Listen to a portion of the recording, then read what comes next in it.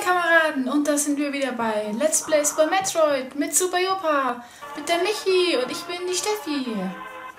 Ja, das letzte Mal haben wir Ridley besiegt in Norfair und jetzt sind wir wieder in Brinstar. Und heute möchten wir gleich am Anfang des Parts Nummer 17 bereits schon noch diesen Aufzug euch zeigen. Den haben wir ja immer ausgelassen, jetzt zeigen wir euch mal noch schnell. Genau, hier haben wir nämlich da in dem Teil von Prince haben wir nämlich die erste Powerbombe erhalten. Ganz genau, das sehen wir genau. Und jetzt müssen wir eh wieder zurück nach Kateria, um die letzten Items einzusammeln. Und da bietet sich dieser Platz eigentlich ganz super als Startplatz. So, und wir sind bereits in Kateria. Und wir waren bereits ganz fleißig und haben ähm, alle Missiles äh, Super Missiles und Powerbomb eingesammelt, die wir bereits haben können. Und das sieht man eben schon, also Super Missile haben wir bereits alle. Beim Missile fehlen uns noch zwei Container bei Powerbomb fehlt uns noch einer. Und ein Energiecontainer fehlt uns noch und die holen wir sie eben hier noch schneller. Da haben wir eben diesen die Screw Attack gebraucht, um das alles noch zu bekommen, Leute. Geht's? Nee, das stimmt doch gar nicht. Was? Du brauchst den Space Jump unbedingt. Ach, stimmt, ja. Ach, stimmt, okay. Und nach rechts. Discussions und Wetter zieht sich zu. Auf Cebes. Und wenn wir eben jetzt alle Items gesammelt haben, dann gehen wir jetzt endlich dann noch dahin, wo uns noch was fehlt zu diesem Ort. Diesem geheimen Ort.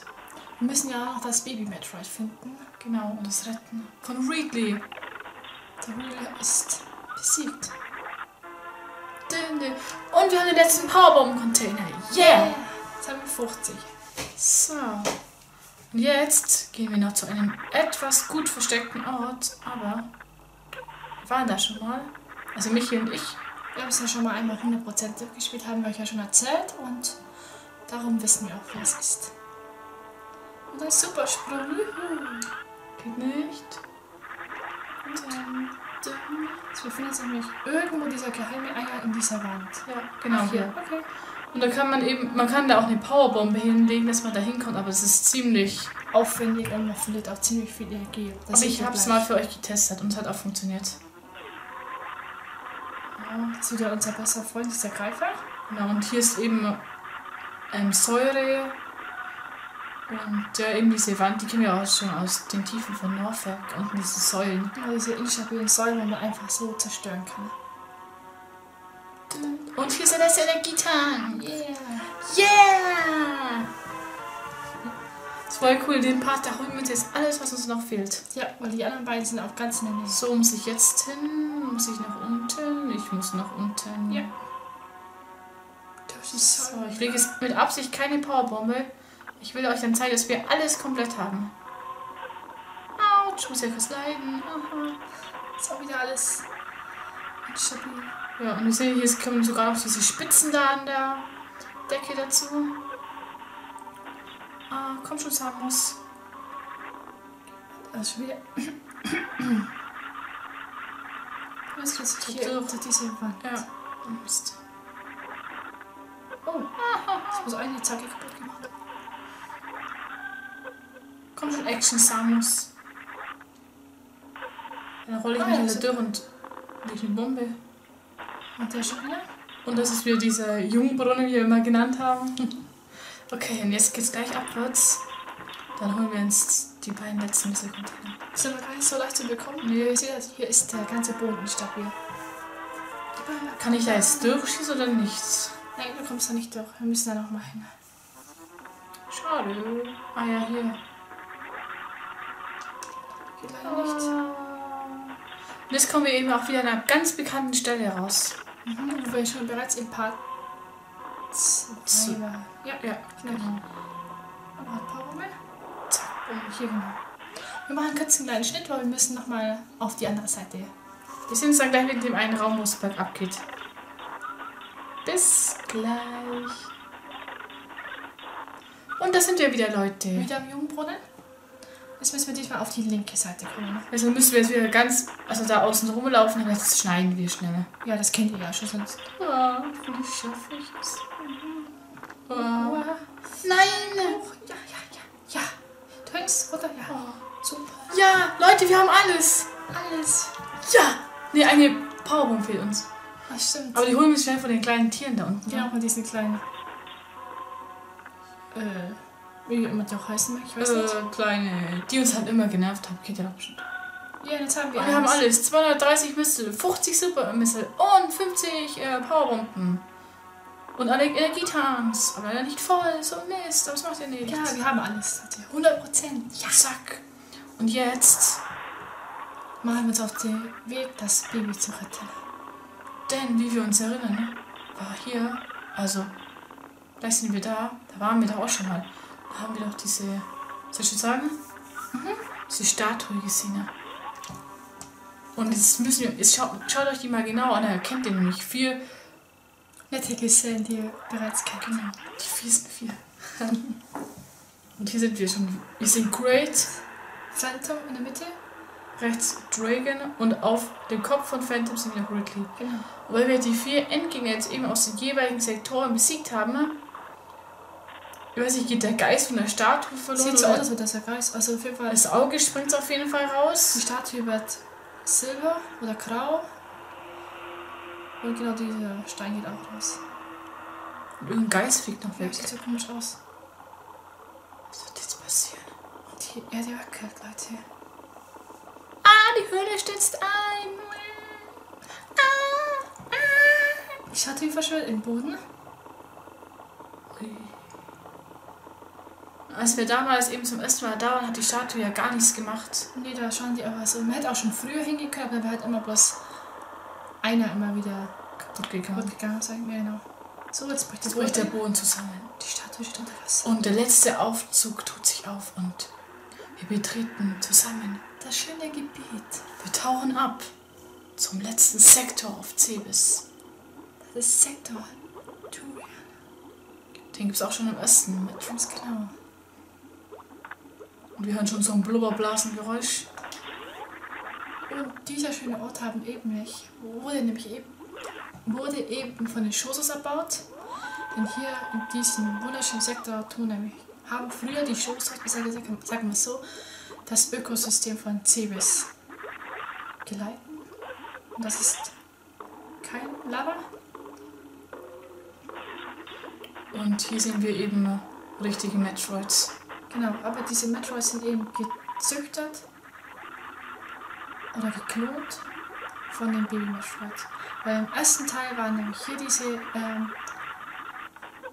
wie heißen die nochmal? Äh, Metroids, genau. Von dem. Metroid-Planet da. Ist äh, irgendwie wieder Genau, die waren original und hier sind sie eben gezüchtet.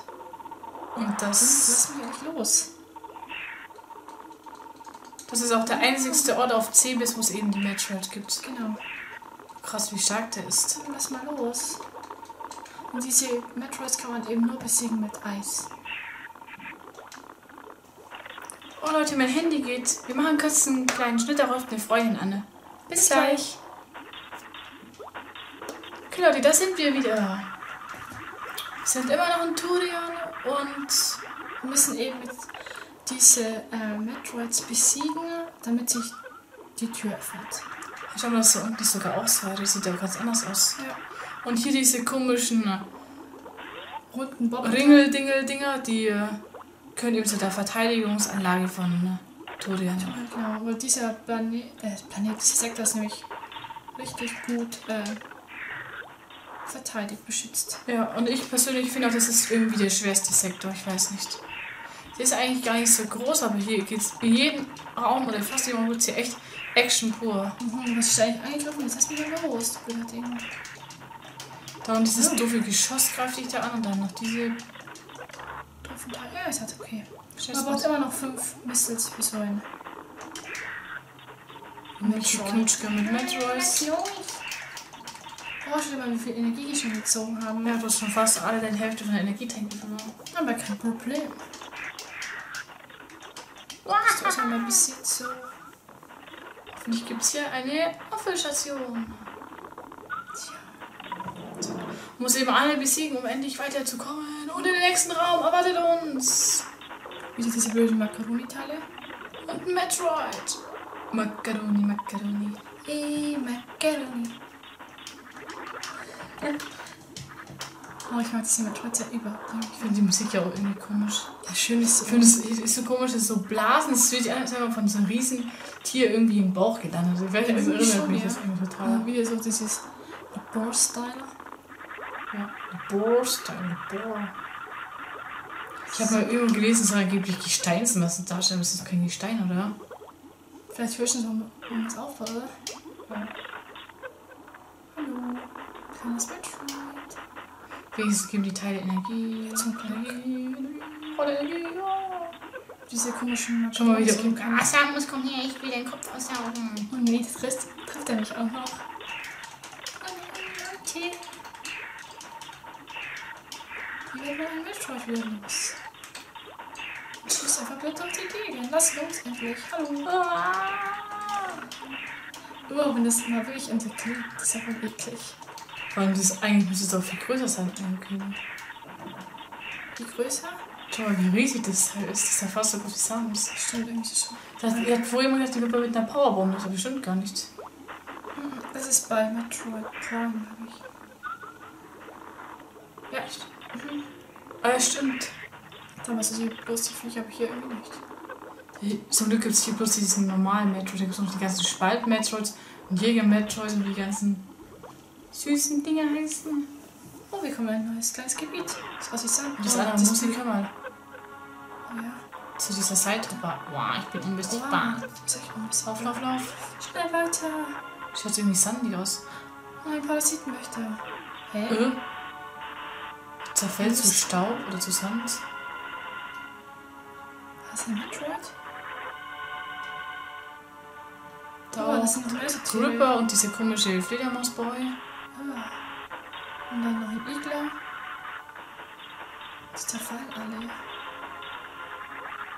Hä? Das kann ich ja Zeithaber kommt. Oh nee, ich habe mich besiegen. Was war das?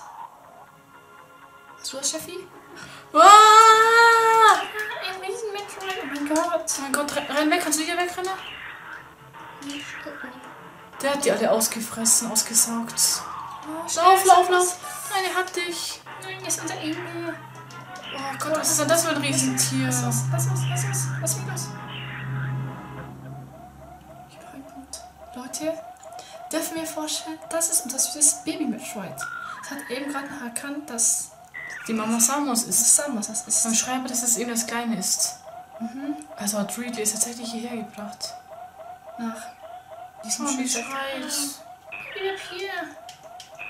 Was hat hier, oh, schau mal, was hier Hat ist ziemlich. Hunger gehabt. Wir sterben eben auch gleich. Gerade im letzten Punkt hast du gemerkt, dass das Samus ist. Cheesy erstmal das noch weg. So, ein bisschen. Hier ist ja gleich ein Missile Depot. Und Energie. Krass. Praktisch, praktisch, Leute. Und die, und die Weltraumpiraten haben eben auch aus dem Super Metroid, heißt das Metroid nämlich in echt, haben die nämlich die Metroids von hier nachgezüchtet. Darum heißt das Spiel eben auch Super Metroid auch. Auch wegen diesem Baby und auch weil es auf dem Super Nintendo war. Und weil das Spiel super ist. Hm. Nein, ich weiß wegen dem nicht. Okay. Ich würde sagen, zur nächsten Speicherstation gehen wir noch, dann können wir ja den Part beenden. Ganz genau. Und wir gehen immer weiter und weiter. Hier ist weiter nach unten nach Tunnel. Das Siegel des das Siegel des Unheils. Inhalts. Oh, ich bin Unheil. Oh, ich bin Augen zu. Das ist ein Tentakel. Tschüssle. Und ihr wisst, was das bedeutet. Kommen gleich zum letzten Endgegner. Ganz genau.